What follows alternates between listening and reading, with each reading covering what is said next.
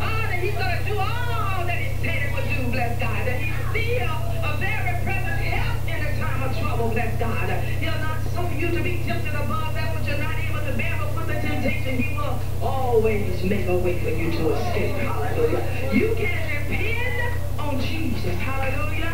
Ah, bless God. Hallelujah. You can depend on Jesus. Oh, bless his name. Bless his name today. Hallelujah. Ah, he'll bring us through our struggles. Bless God. This little purple here represents a caterpillar. I want you to go on a trip with me. Bless God.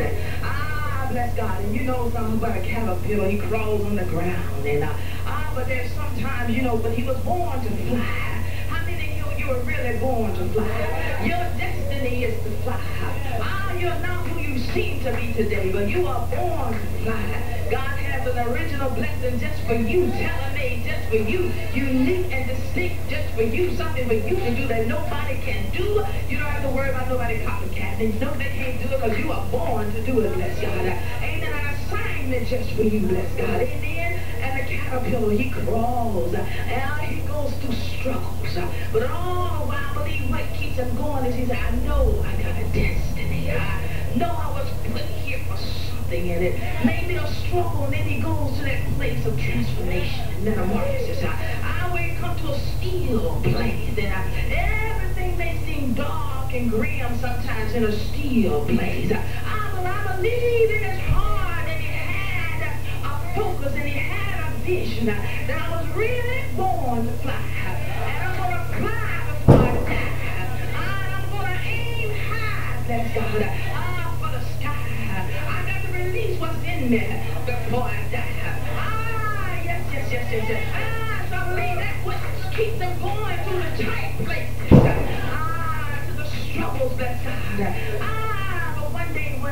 day, somebody said one day.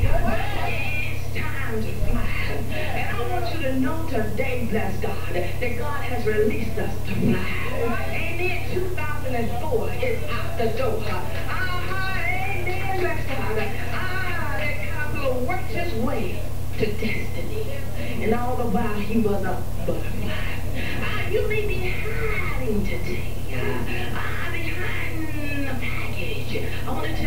Story about uh, two polar bears. I was sitting there. How many know it's good to watch TV with the Holy Ghost? Ah, now he'll teach you through football. He'll teach you through movies. He'll teach you through many things. Ah, but on that day I was watching a documentary and uh, they had got two white polar bears out. And the people and the zookeepers, they were playing with them, bless God, like babies. Uh, they were giving them bottles and holding them in their hands. They were destined for greatness. They were not babies. They were not tameable. Ah, but they were made to go forth in great power. Amen. But these two polar bears, they rocked them. Ah, they nursed them. They swam with them. They budded with them. But as time began to pass, they grew more into who they were created to be. Ah, you can no longer swim with them.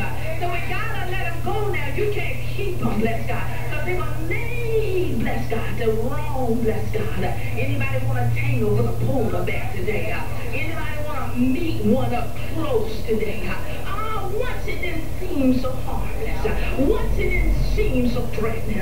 Ah, but the lion has begun to roar today. Ah, my, my, my, my. God has given us a word today, bless God. He's given us a word today we do want to share. We honor the Spirit of the Lord. Hallelujah. He's one of God's ministers today. Amen. We thank God for Apostle Twitty in the house, and Apostle Tom in the house, and Minister Howley, and uh, the deacons in the house, Sister War, and uh, Rose, and the deacon back there, bless God. Amen. And all God's saints, huh? All God's special people. To the children on today. God is in the house. He's always mindful. Always, says, always mindful of the children. Hallelujah. Break it down, Lord. Break it down. Hallelujah. Amen. Always mindful of the children, bless God. When God comes to feed, he comes to do what? Feed all, bless God. Ah, amen, amen. Hallelujah. He's mindful of all. Amen. If the 5,000 people were here, they would tell you he didn't leave them out. And he knew some of them were seeking him just for some food, but he fed them anyway. Hallelujah. Bless Blessed be the name of the Lord. God is good. And he's worthy to be praised. Hallelujah. You can go to Psalms 119, uh, perhaps. We're going there. We, we're living there. Bless God. Lately, Sister Rose. Uh, amen. But we're going to, um, hallelujah. Bless God. Thank you, Lord God. Somebody telling me love him today. Hallelujah. Thank you, Jesus. There's none like you, Lord God. You're worthy. Hallelujah. And it's just because of who you are today, Lord, that we stand here by your grace. That our faith will not rest in the wisdom of men, but in the power of God.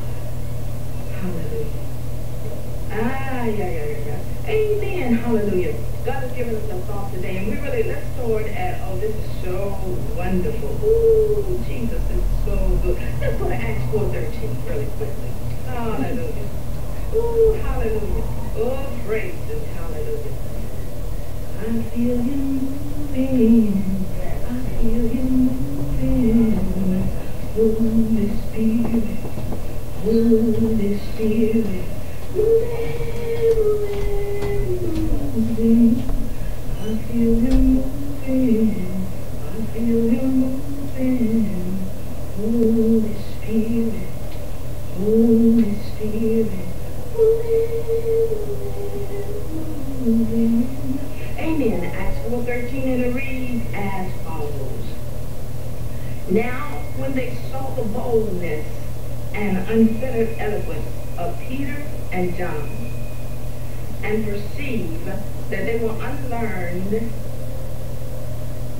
And untrained in, in the school, in the schools, common men with no educational advantages.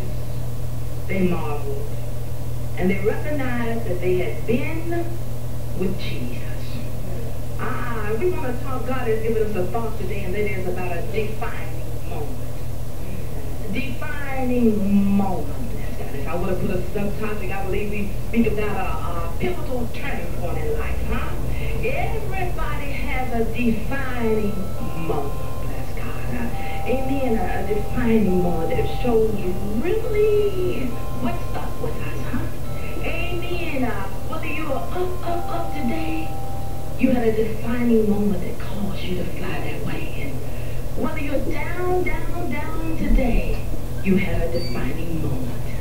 A defining moment that caused you to go down spiral. Everybody has a defining moment, bless God. We, we look at uh, the inventor of the electric light, I believe, uh, Thomas Edison, uh, working on a project. Have you ever been working on something designed to achieve something and immediately you showed and shared your experience and they said, no, you can't do that. Uh, that's too big for you to hope to accomplish. Everywhere you go, they pour cold water your dreams. They tell you you can't make it. Uh, they said, no, that won't work. Hundreds and hundreds of times he must have been told it won't work. But the defining moment was when he decided through there to press on, huh? The defining moment was when he decided that uh, I'm going to give it another try. I'm going to do it anyway. It's in me and I'm going to keep on trying until I reach my goal. That was the defining moment, bless God. I believe uh, Elijah told uh, the children of Israel, he said, why halt ye between two opinions?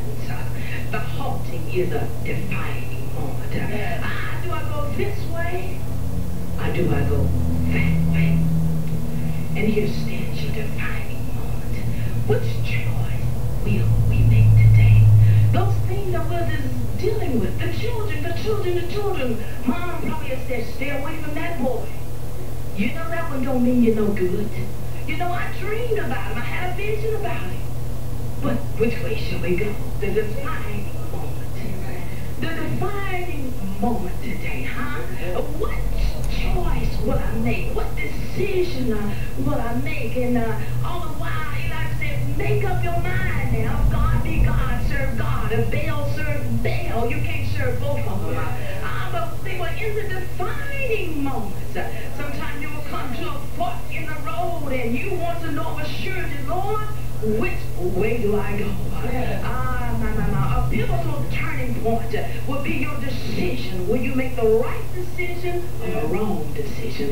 Will you go right or will you go left? Will you go high or will you go low?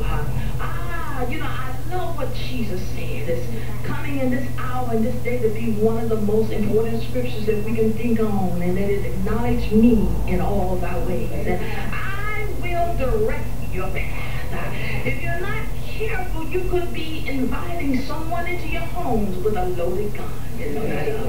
Ah, if you're not careful, you could, I mean, and God began to stir. He dropped the fire in my belly today to lay on this one. Careful, sometimes uh, we can allow people access and boundaries in our lives that they've not earned the right to get. Uh, See, you not walk with me long enough uh, for me to reveal and open myself up to you like that. Uh, you're not walk with me long enough uh, for me to bring you into my closet and show you all my goods. Uh, you not even walk with me long enough to hand me some things that I can receive from you. Uh, you not walk with me long enough. Uh, boundaries. There are certain people I know, they're in one place. They may start at the back pew, some and certain are up close that I feel like I can go in and confide. If I got a problem, I feel like I can share it. Ah, but, but, but defining moments of when we go past the warning of the Holy Ghost. Sometimes he will send people to warn you. Something's up. He will send people to warn you. Watch it there. Watch it with that one. Uh, Brother Tom would say wreck on the inside. He knows something's not right. Uh, I, I was telling somebody the other day, I said, my peace left. I know something was up. Amen. Defining moments. Uh, but what will you do uh, in the halting? Uh, what will you do as you set out to make your decisions? We got to realize that we have an adversary out there, and he does not mean us good. His motto and our mission statement is to steal, kill, and destroy. Whatever I can do to make life a living hell for you and the children, I want to do it. I, you know, I find that he has no respect of person. I, I, you can say some things about him. He has no respect of race. He don't care if you're rich or poor, black or white. Uh, he don't care if you're a child, if you're elderly. He got the same mission statement. I will say one thing that he is focused. Uh, uh-huh. And we can say another thing about him, that he is persistent. I believe there are some things we can learn from him now. Uh, uh-huh. I believe we can say he is steadfast. Uh, uh, and I don't think he's even been moved right by now. Uh, I think he's still on his job. Huh? Amen. Talking with this little brother that came in from the place of there. We were talking about the scripture where Peter said, beware. Your adversary goes about as a roaring lion, seeking who he may devour. Beware. He goes about as a roaring lion. But I want you to take a trip with me. What if you were in the jungle and there was just one roaring lion loose with you out there? Would you beware? And he was hungry. Would it cause you to? Huh? Amen. Amen. He has deadly intent. And that is to wreck our lives by any means necessary. So why halt ye between two opinions? If God said do it this way, you ought to be found doing it. If he said do it this way, you ought to be found doing it. You know, I'm reminded right about here, the scripture said, trust in the Lord with all your heart and lean not to your own understanding. Ah, some things we can't figure out with our mind, our intellect, and some we don't even need to try. Ah, what if the blind man had said, Lord, don't put that spit mud on my eyes. Because I've never heard of nobody doing that. It don't make sense. What if he had interfered with his mind of reasoning? Ah, but he had faith in God. Lord, it's you I'm going to do it way you tell me to do it. Ah, defining moment when God tells you to step off. Do something that you never done. Go somewhere that you never gone. Dare to be different. I want you to come forth today. I got something for you. I really want to show you my power and who I am. I'm reminded on board ship, there were many individuals on board ship, bless God. In the boat, but one stood up to dare to be different. One stood up, bless God, that was not afraid of men's opinion. One stood up that was tired of the same old, same old, same old stuff and uh, wanted to see something different. I one stood up and said, Lord, all I need to know is that's you. I want some of that. Uh, I, I understand it, Lord. I don't see how it works, God. But if it's you, bid me to come. Uh, there was a defining moment there because the others had the opportunity to go to her. But there was just one that made the decision, I want to go that way. Uh. I know it don't look like the way I should go. Uh. I know it looks a little cloudy and uncharted and it's new territory. I've never experienced it before, but, uh, you know, Jesus was just in that place. Ah, and so Peter got up off of the word come. Jesus is telling many of you, come, come forth. Allow the children to come unto me. Come, come on out of this situation. Come on out of that dangerous place. Come on out of the posse. Come away from your peers. Come away from those that will lead you in the wrong direction. Come away from depression. Come, come, come. One rose up. That was the defining moment. Ah, my, my, my, my, my. But as we go through life, we find that we have many steps and many opportunities for defining moments. Ah, ah when Peter got ready to stick his foot over the board of the ship and uh, knew that he was going into uncharted waters, uncharted territory, he could have said, no, I don't think so. Huh? But the defining moment, he decided not to halt between two opinions. He just stepped on over in there. Uh, God's doing a new thing with me, and I'm going with him. Uh, you never seen me this way before. You ain't seen me out here before. But I know Jesus, hallelujah. Ah, he's calling me and bidding me to come, and I'm going with him, God. Defining moments in life. Uh, how good it is to see the children here in the house of the Lord. Uh, Sister Brenda, there's one thing about her. She has just been a little evangelist for the Lord. And everybody she can get in here, bless God, she is just pulling them in for the Lord. You know, that's a defining moment. Each day we pass people on the street and I, we never know which one really the Lord is sending them to, if any of those on that day. But we want to keep our ears out.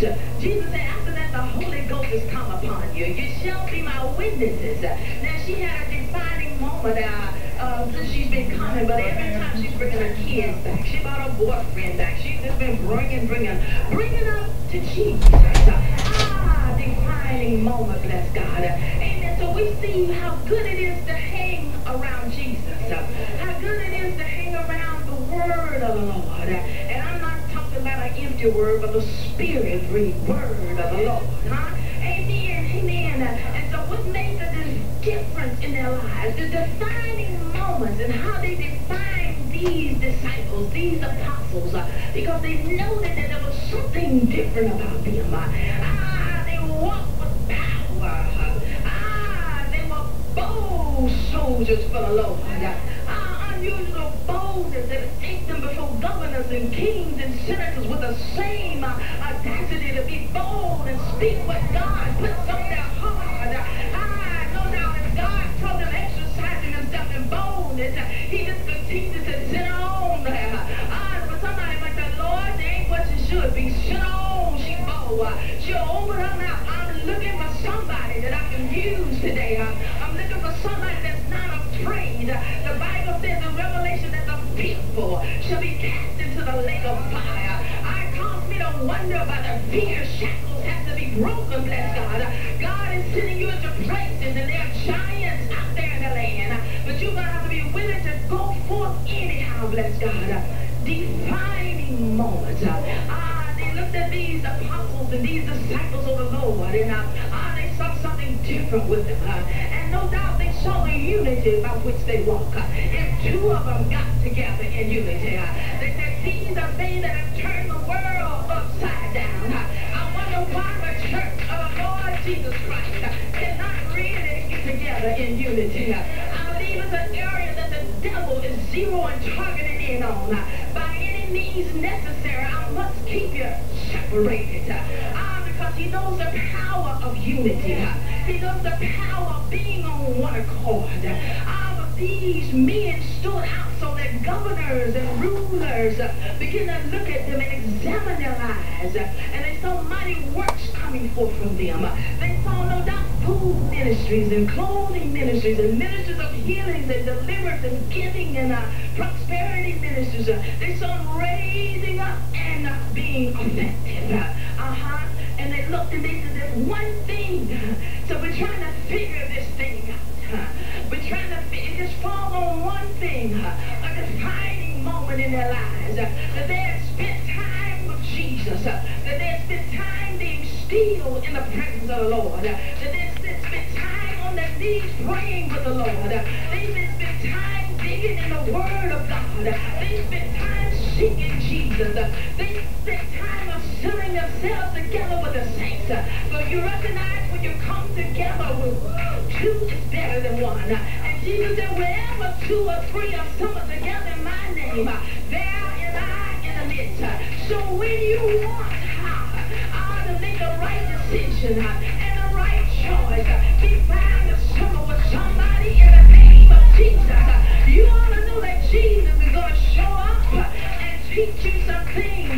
Jesus is going to show up and reveal some things that you do not know of. He may talk about the bow and arrow. Uh, he may talk about some unusual things. But when you get yourself out the way uh, and say, Lord God, you be God of this situation. Uh, all of thee, Lord, and none of me. Uh, that'll be the defining moment for some of us. Uh, oh, Jesus.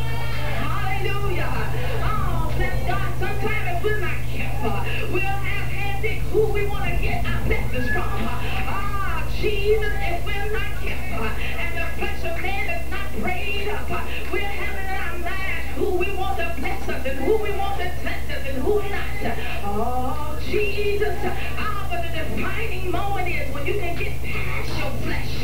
Oh, Jesus, you can say, Lord, your way is the only way. The defining moment. Ah, they looked at the lives of these apostles, these mighty men of God. Ah, one thing you can say about them, they were steadfast. Ah, they've been in the way a long time. They come through a lot of hard, rugged rain. They've been crucified and crucified and criticized. Oh, Jesus. Jesus already said, oh, I've been born in sin. Oh, Jesus. They'll look at the outward man. When God said, I'm still looking at that heart there. Oh, Jesus. Defining moments when we can get past what people might say. And when we can receive what God is sending our way. I think about the prophet Elijah, I believe.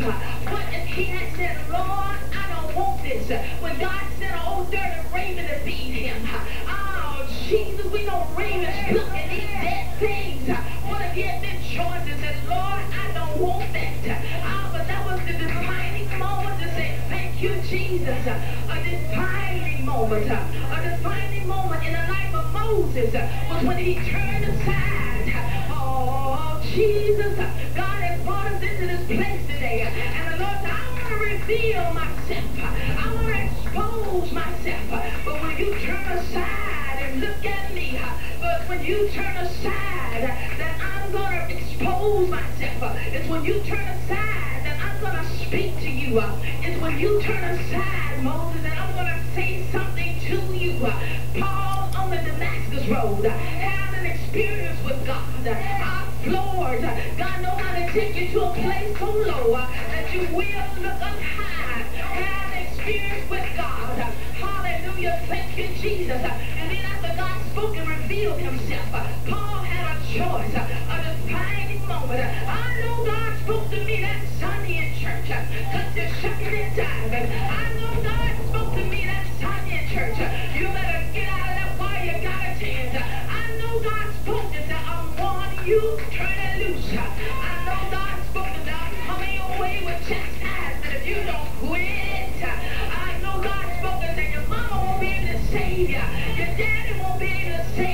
you. Better stop in there. You better begin to seek me.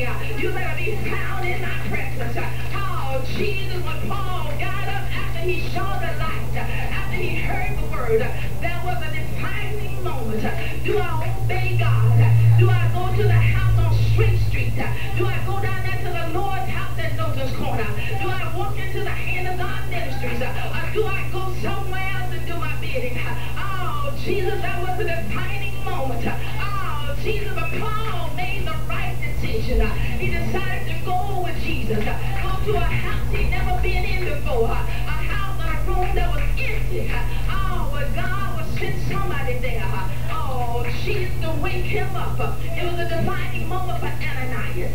Because when God told him, you go over there, I need you to do something. I need you to lay on the hands. Ananias rose up with excuses. Lord, I heard about this brother. I nothing to do with this brother. I heard about this sister. I don't want nothing to do with this sister. Ah, but the defining moment was uh, when he found that he couldn't outbox God. And he decided to go and obey God. And go and lay hands on power. And because he obeyed God, all the greatest apostle that we can ever be in the presence of has been loosed. And because of him today, we read the word of God in power and purity. Oh, Jesus. Jeremiah, he was here. He will tell you about a defining moment when God came as a youngster. Ah, there youngsters in the room today. Ah, Brenda got some young children here today. Ah, but God began to reveal himself. He said, I want to use you, son. I want you to be a prophet unto the nations. Oh, Jesus, when he spoke and said, I'm just a bit too young, Lord. Ah, but he said, before you were formed in your mother's womb, I called you. I sent you here. Oh, Jesus, and make it a little bit deeper, a defining moment in heaven with God. Who shall I entrust these children to? Who shall I entrust the prophet Jeremiah to? Is there a mother in the land that will press her way to the house of the Lord with these children that I can speak into their lives? A defining moment for God. Oh, Jesus, he looked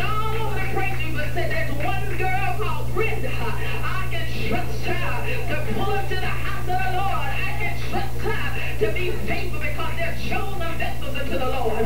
Because God is going to use them at a young age. Said, there's a woman that I can trust to have her children under the sound of my voice. That I can speak into their spirit and raise them up. That I can put in them a moment.